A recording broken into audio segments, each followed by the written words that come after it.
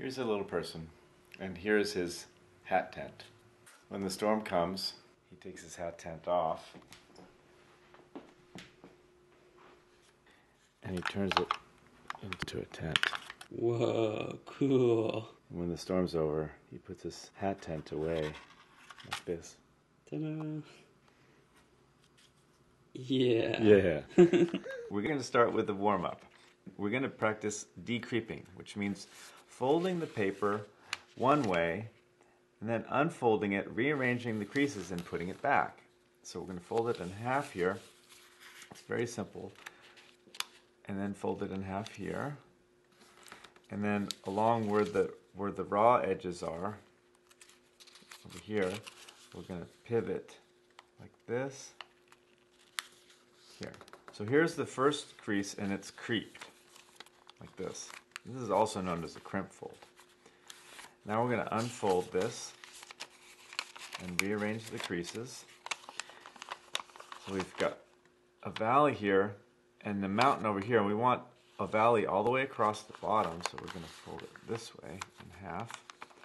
And then this one, now we have a mountain here and a valley here. We're going to change this valley here and put it back together.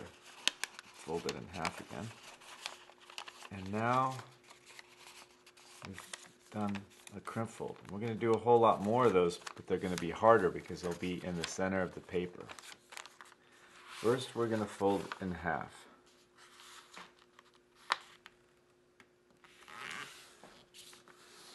Good crease there, and then fold in half the other way.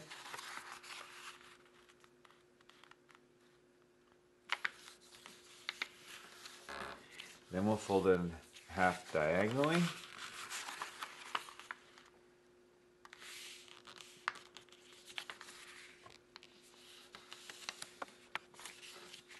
And then diagonally the other way.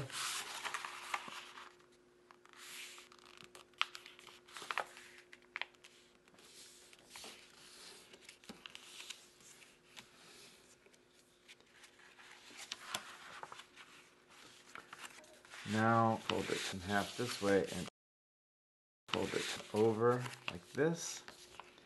Turn it over and over like this. And then reach in here and open it up like this. Then we're going to pick one of these up and turn it both ways and put our finger in here and push this down. When you push it down, you're going to pull a little bit here and make sure that you get a good point down on the bottom. And you're going to make sure that these points on the top here don't come apart from each other as you put push it all down this way and make this fold. Spread it out. And this. Okay, there's one done. Now we'll find another one. Stand it up both ways. Squash it down. Make sure the points at the top stay together. And this right here it goes right there, along there.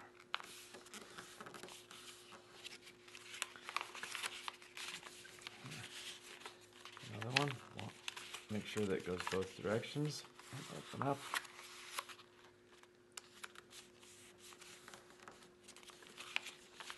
And here's the last one.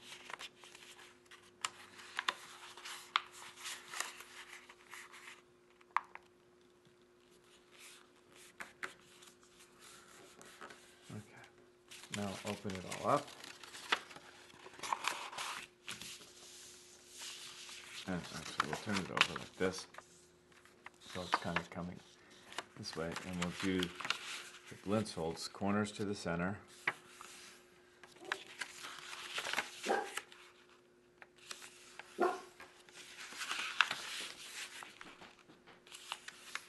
Oh, we can see from there.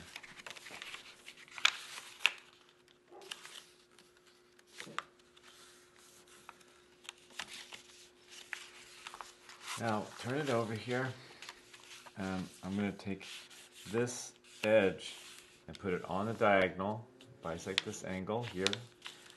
When I do that, I'm going to let this fly out a little bit and make sure that it starts down here all the way at the corner. Increase it. And then I'm going to do the same on this side with this edge onto this diagonal here and let this come out.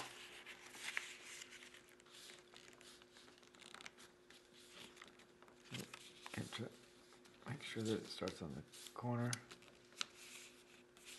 Stays on the diagonal. Fold. Make sure to fold this part here. And then we'll do the same for each edge.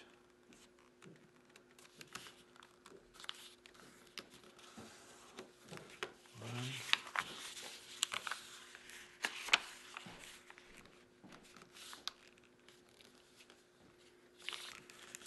Two.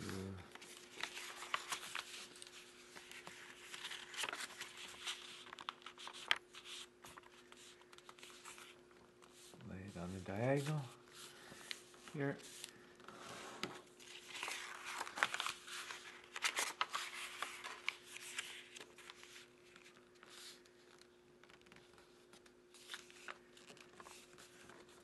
There. And one more.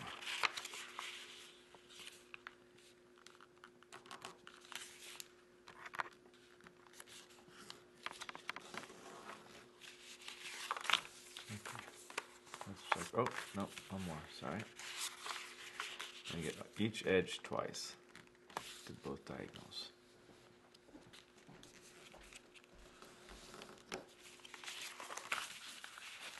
Okay, now we can check and see if I can draw an octagon there, then I did it right. Okay, now we'll take these out.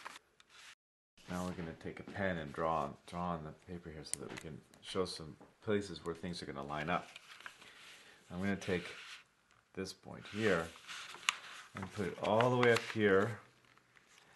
And yeah, I'm going to draw, there's a line here, a fold, and a fold, and then this fold here.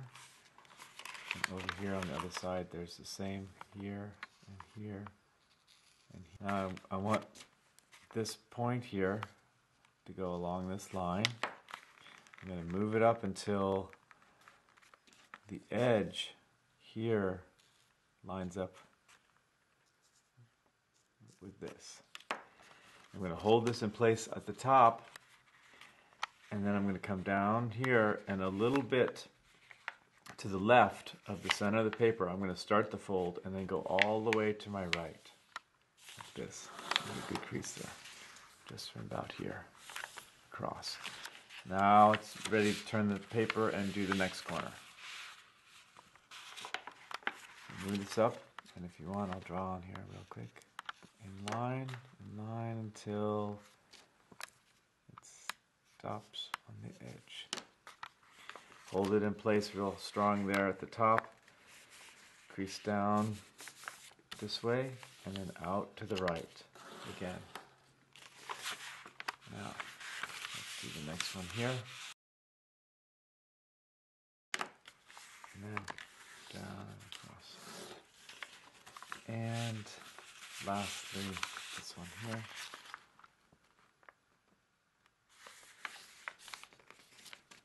Same as the other ones. Across. Okay.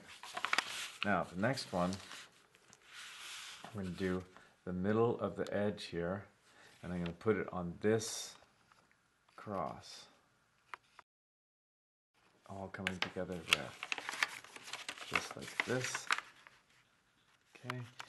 And I'm going to hold it in place and make sure that, that the edge lines up over here. Like this. And out all the way to the right. We don't need to, we don't want to fold this part over here. Alright, there's one. Turn the paper so the next edge is in front of you lift it up, find the intersection, and hold it in place a little bit to the left. There's a crease here. That's where I'm going to start the crease and then go over to the right and make sure this was lined up. Okay, next one.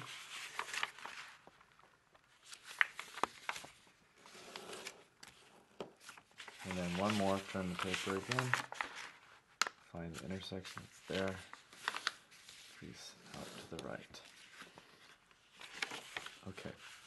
Now we're gonna we see a little small octagon here. From this octagon, we need to draw a line all the way to the edge here from this corner of the octagon. We're gonna make a crease that goes all the way to the edge. And then from this corner of the octagon, as- again, we're gonna make a crease that goes all the way parallel to this diagonal, all the way to the edge over here. Now let's see how we do that. We're gonna turn it back over. And I'm gonna lift this up, run it along the diagonal here. I'm gonna roll it up into place until I find this little triangle. And the bottom of this triangle is where I'm gonna start the fold and go out to the right. Like this. Okay, now I'm gonna turn the paper and do the next one. And I'm, again, I'm sliding the diagonal on itself until I see the bottom of the triangle. I'm going to draw it one more time. And start the crease there and go all the way out to the right. Turn the paper. Again, roll up until you see the little triangle. Stop at the bottom of the triangle that's right there and out to the right. Again, roll it up till I see the bottom of the triangle. Stop and out to the right. Okay, now let's do this one.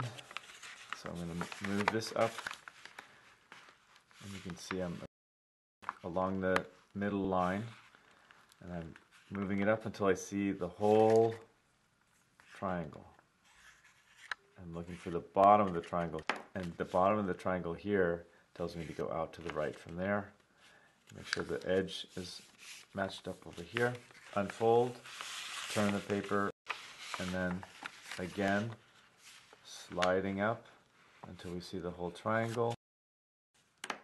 And then crease out all the way to the right. Unfold, turn the paper, again, find the bottom of the triangle, crease it out.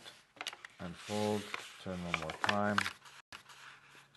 Looking for the bottom of the triangle. Make sure that this is lined up at the top here. Edge lined up over here. And make the crease out to the right. Okay. Now we should see the octagon here needs to be mountains. And then the folds that we just made here. The edge of this octagon here and this fold they're going to come together and this is going to be a valley fold. This mountain fold and this mountain fold will come to each other and this valley fold will go down and below and this one will also be a mountain. Just like this. See how this mountain fold and this mountain came to each other? And now we'll go to the next one and here's this mountain fold and this mountain fold come to each other. This is a mountain fold here and together. And we find this mountain fold and this mountain fold and make this one here and pull this mountain fold and this mountain fold together. And there's three. Continue around here. Now I'm going to let it let the paper out a little bit so that it's not too caught up for continuing around in a circle here, but I'm going to leave it a little bit roughly in the right position. And now I'll go to do the next one here. This edge and this edge come together. Like that. This edge and this edge come together.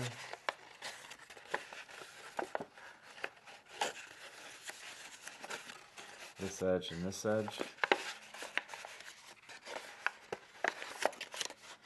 And then we'll, we'll see that we've continued around and we can flatten this out a little bit and, and finish the open octagon twist. Why does it mean that it's open? Well, it's twisting. It's also got a hole on the back. It's open. Now, so the first step here is to stand these pleats straight up and keep the base of the pleat together down here. And then fold it over the other way and then let it go back down. And then turn the paper and do, do that for each one of these pleats.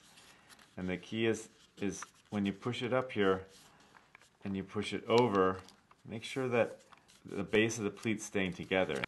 You don't want this line at the base of the pleat here to deviate away from this line here. You want to pull it and make sure that it's even with it with a nice parallel pleat across like that. Okay? And then turn it again and do the same. Stand it up. And you're also making sure that this this is lined up. And then over. Stand it up. Okay. And here.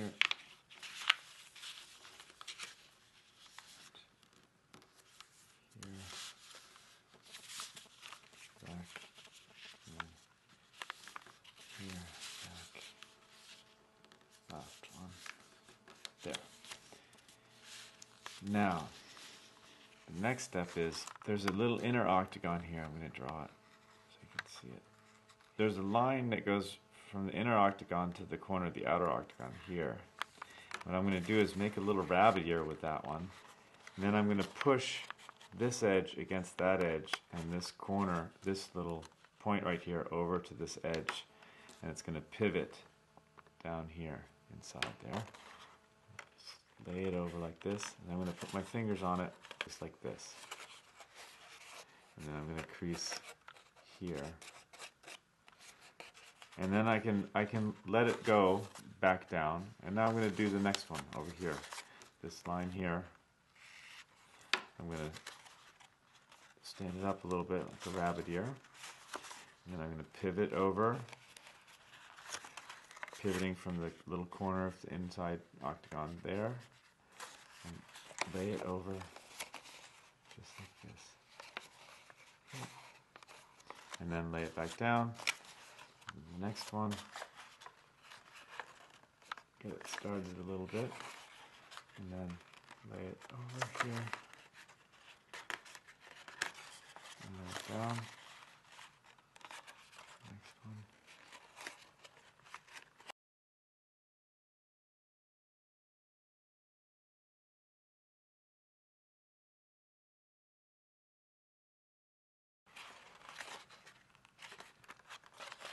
The good thing is to get to practice doing it eight times.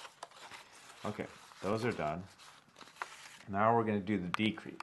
And that means we're going to open it up like this.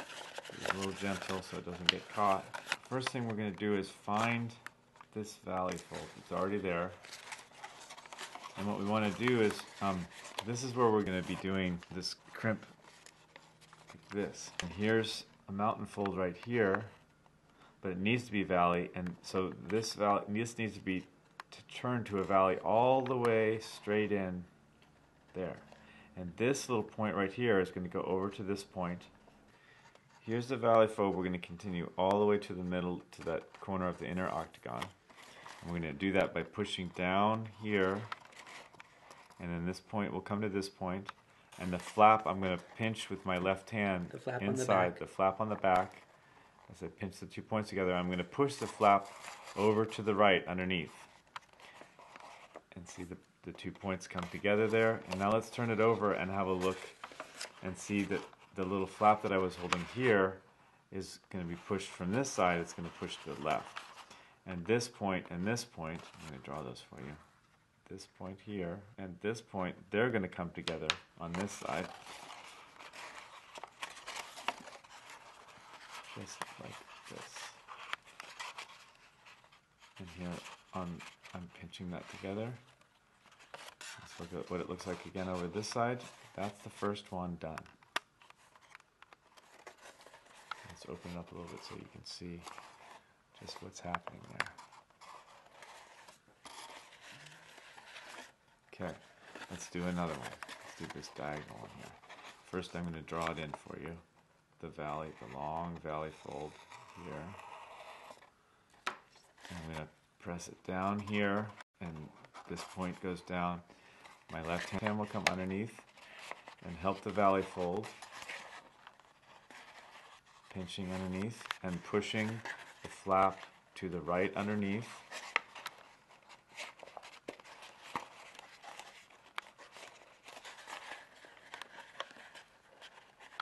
Now let's look underneath here and look at this.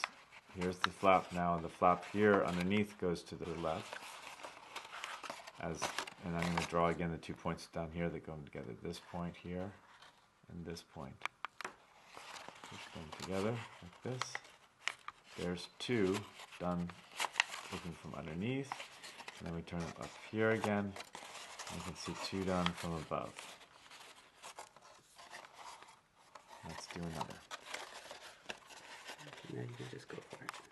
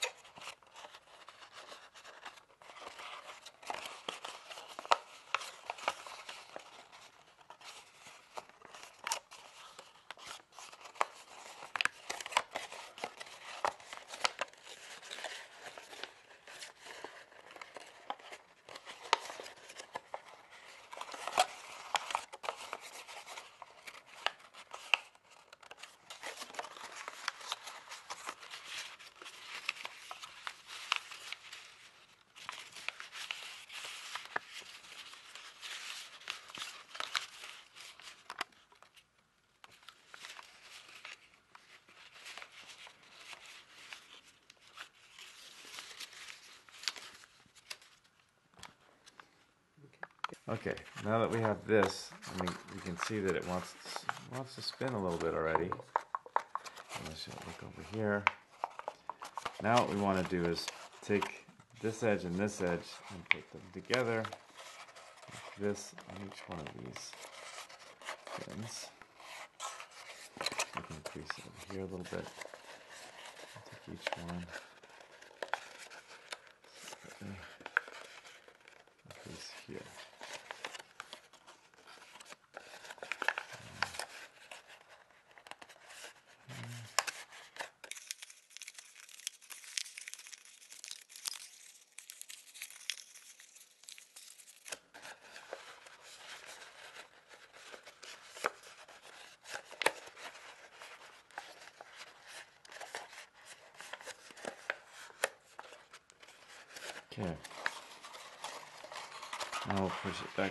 Flat again, and we can we can begin to start wrapping this around itself like a flasher.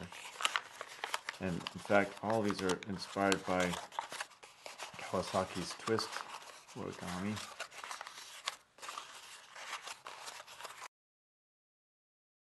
Might creep a little bit away from me at this point, but that's okay. You can correct, you can pull on it a little bit, pull it up a little bit and try to correct it. And a little bit of getting away from the perfect thing is normal because of the thickness of the paper. Give it a good press in here.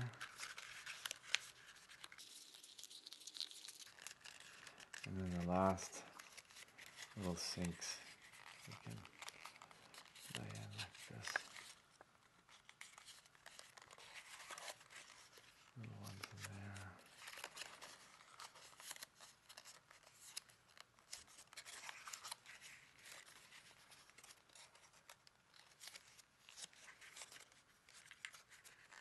Yeah.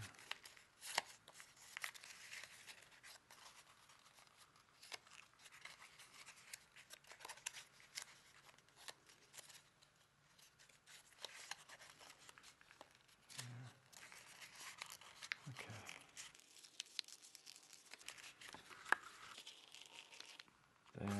There's the hat tent.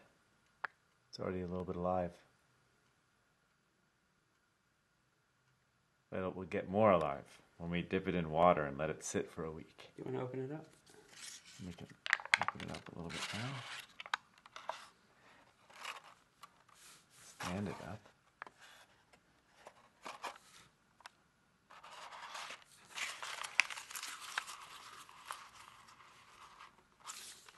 Okay. Now we're ready to dip the hat tent into the water and work a little bit to get the water all inside. Don't let it get too unwrapped though, because it, it'll be hard to fold it back when it's all wet. Give it a little squeeze so that the water gets nice and inside everywhere. You also have to be a little careful too that it doesn't rip because it, once the paper gets very soft, it could rip. Okay. Now we can squeeze a little bit of the excess water out. And we'll put a rubber band on it.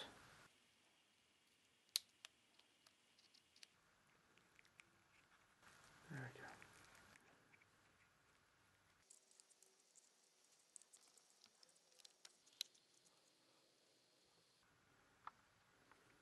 Very good. Now we'll put it out in the sun. We'll come back in a week. Here's the hat tent after it's been soaked in water with a rubber band around it and ready to turn from a hat to a tent like that and then back to a hat again. Cool.